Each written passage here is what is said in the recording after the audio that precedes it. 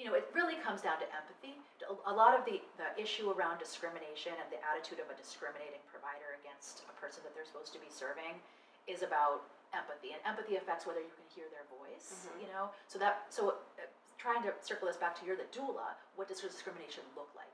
The first manifestation of it is going to be respect. Mhm. And re- part of respect is listening. So it's like, I'm sure you see it, the difference between the way that person comes in and talks to your, you know, wealthy, professional degree holding client and the way that they come in and talk to your Medicaid client Mhm. who's a person of color. Mhm. And, and th- th- there's, you know, all, almost like we're, on, we're, in, we're part of the same community. you know what I mean? And so then there's this like sort of shared language and, and, and then what it looks like when that, so again, from the provider's perspective, the more layers of otherness they are projecting onto the patient, the less they will hear that person, mm-hmm. and the more likely that person and their baby are to die in childbirth. Literally die. Mm-hmm. And if there's a mechanism that I think is responsible for that, it's not listening.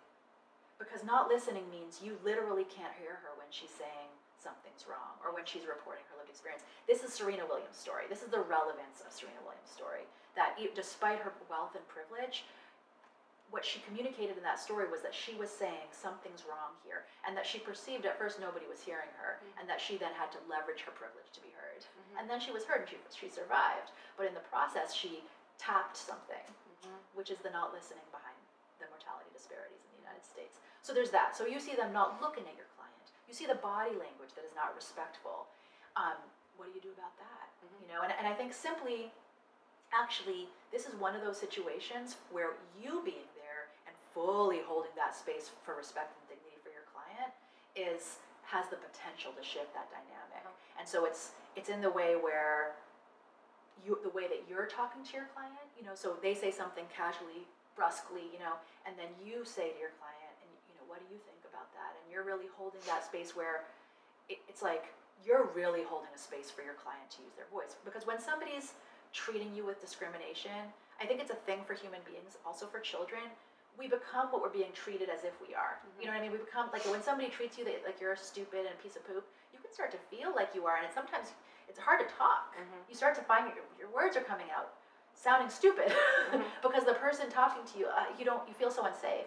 Um, and so in that sense, that's in a way the way the doula can be an antidote to discrimination is making sure that you go deeper into dignity and respect for your client when you sense that the, these these people in the room are like undermining that on.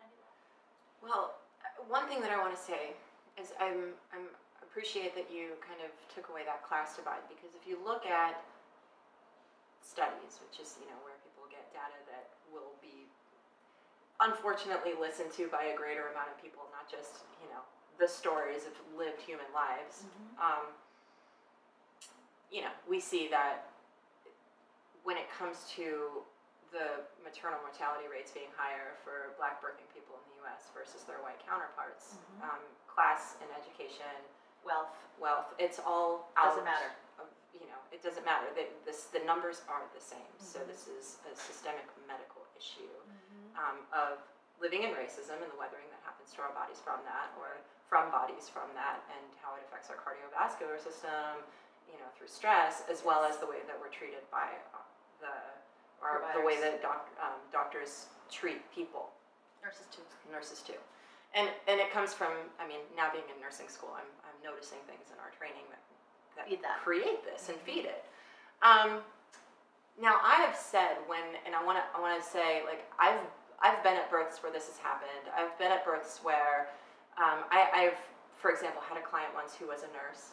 Uh, she was a woman of color. She was delivering in the hospital that she worked at.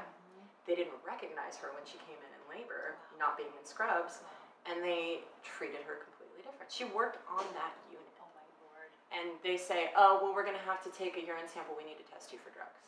Oh my lord. And she says, "Well, we don't do that for everybody. Why are you doing this for me?" Oh, and they said.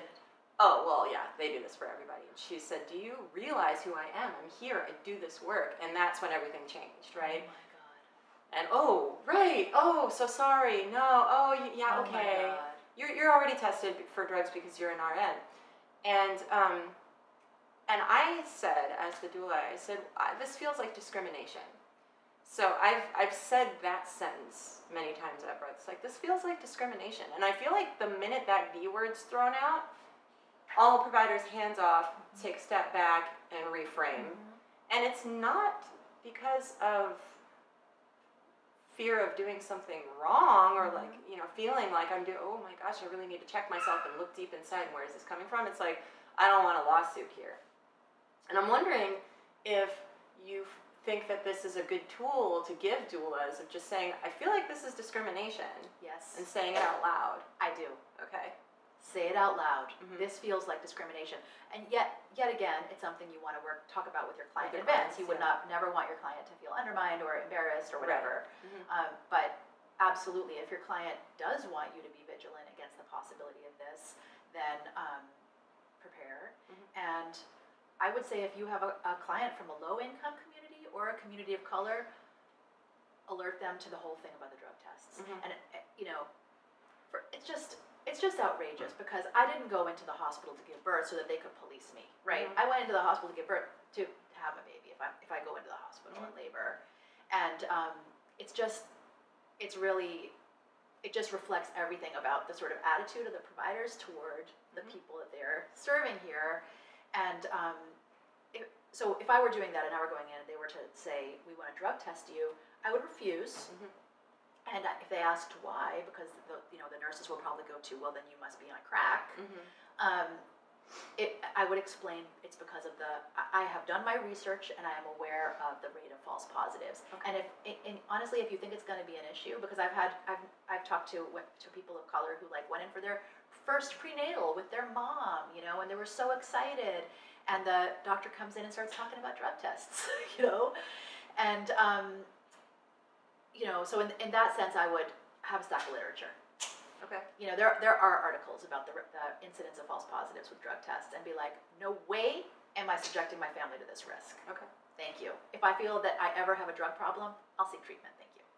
One thing that I would I would request, and so since we're doing this as a video that we're going to be putting out to you know a vast audience, is that maybe when we're done, you can give me some resources for where to find those articles, and then at the end of the video, I can post them I love up. that. Yeah. Okay, that would be awesome because I, I I definitely need that as well, and I want to be I want to say too. I feel like just to to name kind of what's happening in this dialogue between you and I, and I just want to say that I do understand that we are two privileged people sitting talking about the lived experiences of people that we have not experienced ourselves.